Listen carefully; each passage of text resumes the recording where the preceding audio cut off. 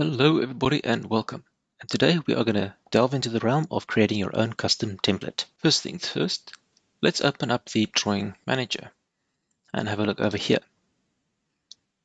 I'm just going to slide this to the side and we have a better look at the drawing itself.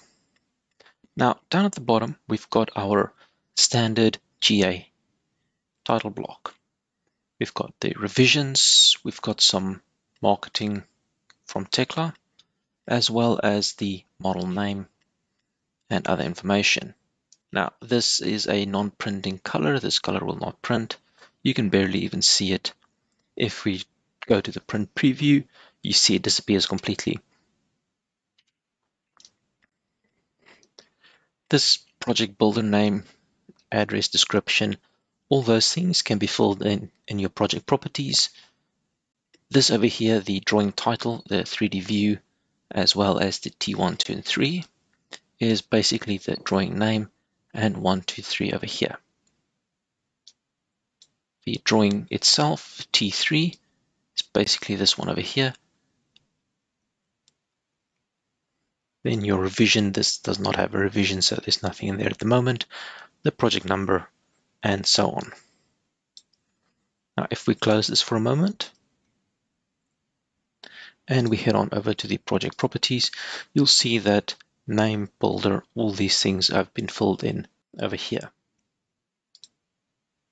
Also, if we just go back for a moment, go down to the bottom, underneath attributes, a few more items that can be set to give information.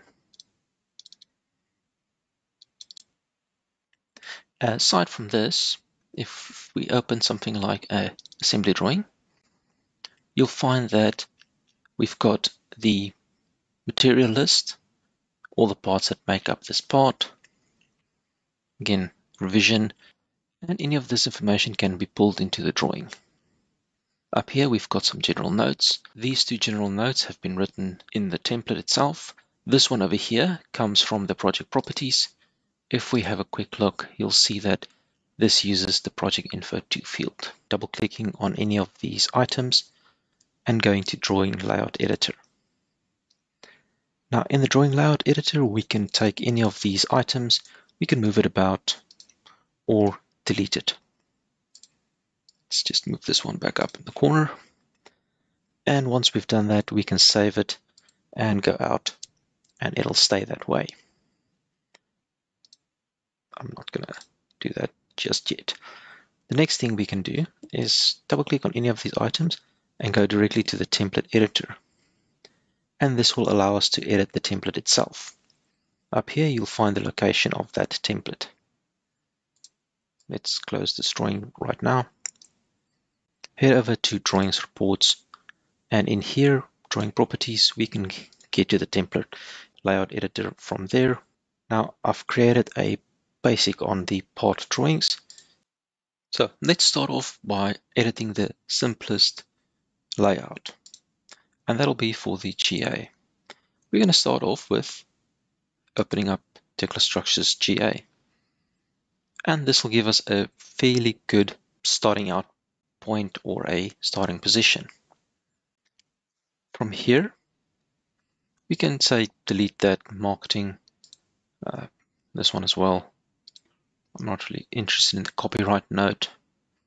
Give us a little bit more space, a bit cleaner working environment. And we've only got three left to deal with. We do want to keep the drawing sizes that they have graciously already made for us, but I'm not really interested in portrait mode as I won't be using it. So I am going to go say remove that, remove that, remove that. Cool. Now I've already removed all of the ones that I don't don't want to use. You can, of course, create new ones by saying plus and picking the paper size that you'd like it to be. It'll automatically change this to be that size. You can, of course, add a manual size if there's something specific that you want, and you can add a specific name to it. But for now, I'm just going to go for the basic sizes. Next, we don't really need to have a border but I will keep the border anyway. I will make it smaller though, just using the 5mm. Gives us a little bit more space to work with. Next, I don't particularly like the fact that revisions up here. I'd actually like just a solid bar across the bottom where all my information is. So the first thing I'll need to do is get rid of some of this stuff. After getting these basics done, I'm going to say save as, and I'm going to rename this to Ford GA drawing. I'm going to grab all of these and save. Now, the reason I grabbed all of the drawings and saved is because I want to include them all. If you say delete something like that on the A4, it will actually still get rid of everything except for the A4. It'll still exist on the A2, but not on the A4. So do pay attention to what you want synchronized and what you don't want to synchronize. I'm going to go back here and say synchronize everything again, just to get it so that all of my changes are on all the drawings. Double click on the one you would like to change. It'll select it there and you can say yes, you'd like to edit the template. In here, we are going to be taking out this logo and replacing it with our own. Now, there is some small issues here, as for example, even though I put this in to add a PNG for myself, it does not necessarily show. There's one in bitmaps as well. There we go. Let's just make this the black one. And I've put in one inside environments, common symbols.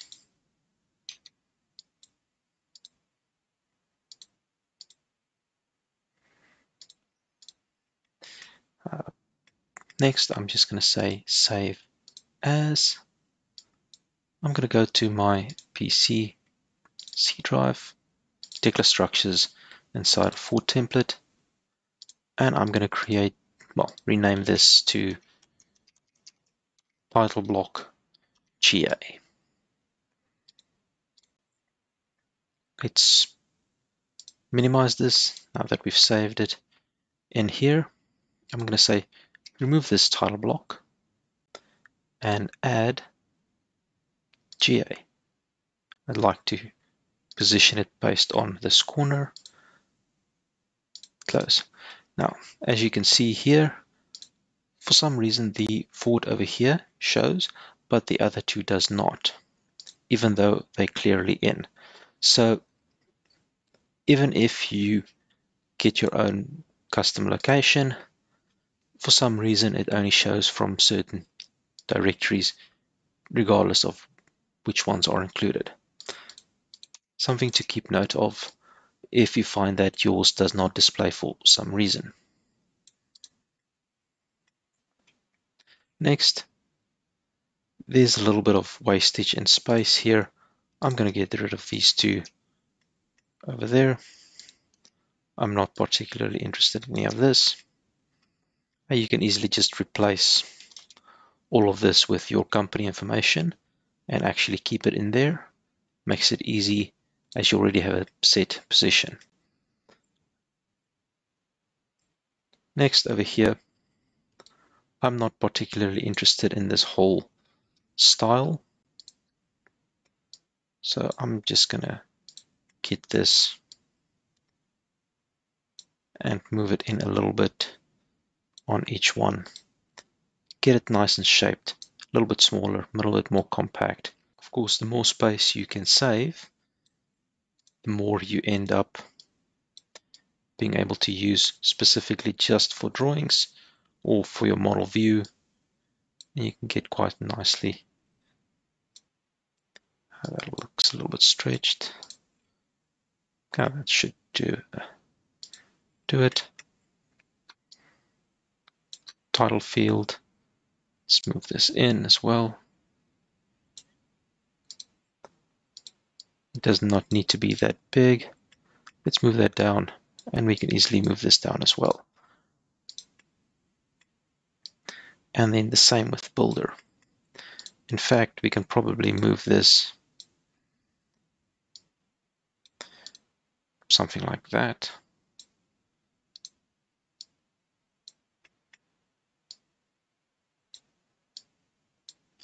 Remember the icon, uh, these little dots, you can space them up here and they're quite handy for keeping your stuff equally spaced, positioned. If you want to do that, get rid of the drawing title. So all of the information are still going to be present. I've just moved the stuff around a little bit so it looks a little bit more compact. You could also just as easily delete any of this that you do not want. Let's get rid of that one. I'm not particularly interested in the address for projects. Next, this is the main contractor's name, which is the builder. I might not particularly want the main contractor's name up there. I might want to actually add a complete separate box for him as well as put their logo in but for now, I'm going to do it this way. Let's move everything off to the left-hand side. Once I've done all of this, if you double click on the background, you'll see you've got a width and a height. Height is basically from bottom to top in your work area, so let's make this 20. This is much less than what it actually is. If we say OK, it changed itself to 32.5. Same with this one. If we make it 100, it's going to tell us, uh, sorry, 100 is not doable. This is the minimum. So yes, I'd like to change it to the minimum.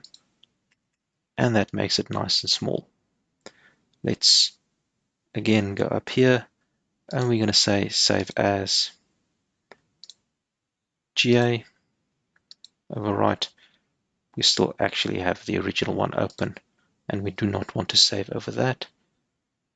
Now let's close that.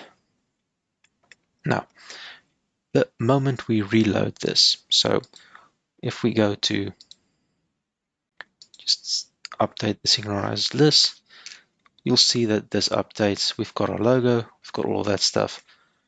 If we close out the template editor, open up the drawing manager, open up the GA drawing, This is still using the alt style. Let's double click background, go to layout.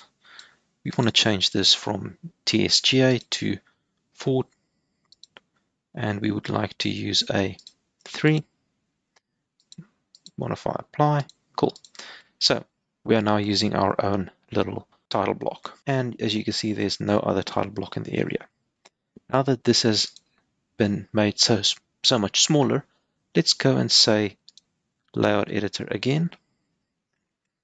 And we can grab this revision bar, stick it down in the bottom, grab that one,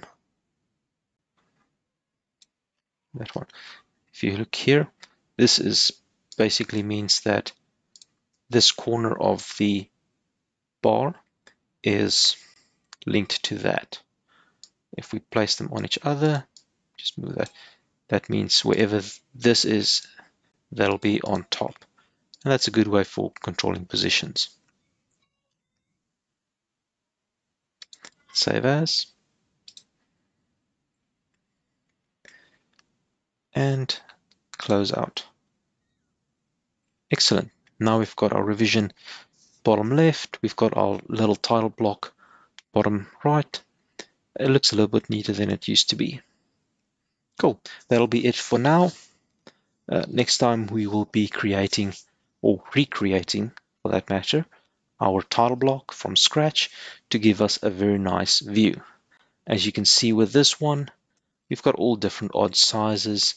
Uh, none of this text looks like it's the same style, size, or anything else like that. And really, there's no consistency across any of this. So we're going to be fixing that, creating our own something that looks very nice and neat, hopefully.